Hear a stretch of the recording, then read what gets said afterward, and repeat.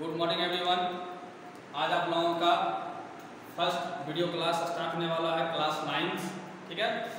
और चैप्टर आपका है नंबर सिस्टम तो नंबर सिस्टम के बारे में आज हम लोग पढ़ेंगे।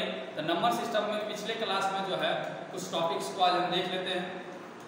फ़र्स्ट टॉपिक आपका नेचुरल नंबर सेकेंड टॉपिक आपका होल नंबर थर्ड टॉपिक आपका इंटीजर्स है, फिर रेशनल नंबर इरेशनल नंबर और रियल नंबर ठीक है?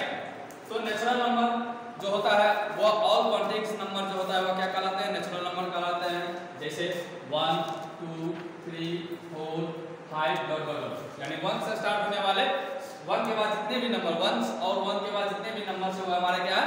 नेचुरल नंबर है और उन्हीं को हम लोग काउंटिंग नंबर भी कहते हैं। अदर दूसरा है आपका होल नंबर तो होल नंबर जो है आप लोगों को स्टार्टअप ज़ीरो से, या zero and all natural number या all counting number is called whole number ठीक है? Zero one two three four dot dot dot ये सारे नंबर क्या कहलाएँगे हमको यहाँ से अब होल नंबर कहलाते हैं, ठीक है? Integers all negative all positive and with zero ठीक है?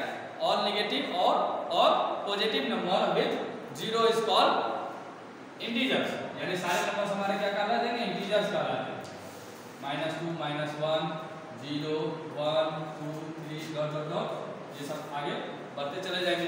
रेशनल नंबर, वैसा फॉर्म जो पी बाई क्यू के फॉर्म में हो और Q does not equal to zero rational number का पी बाई क्यू का फॉर्म जैसे ही आ जाएगा, वो क्या कहलाएगा? ये रेशनल नंबर कहलाया जाएगा, जिसमें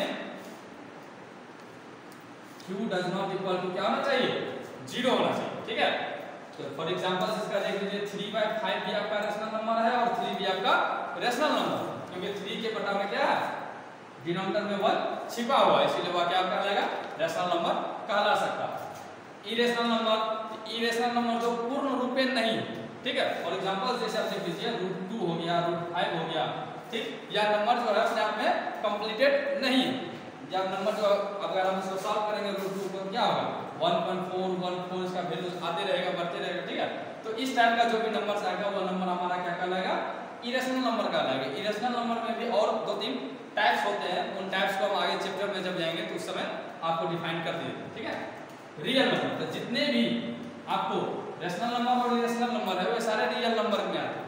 एक डायग्राम के माध्यम से आप उसको समझ सकते हैं कि सभी नेचुरल नंबर जो होता है वो रेशनल नंबर और इरेशनल नंबर होता है, ठीक है?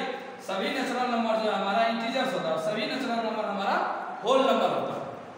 और ऑल रेशनल नंबर और irrational number is called real number अब नेक्स्ट क्लास में आप लोगों को चैप्टर्स के बारे में जानकारी देंगे किसमें क्या देखना है, ठीक है? Thank you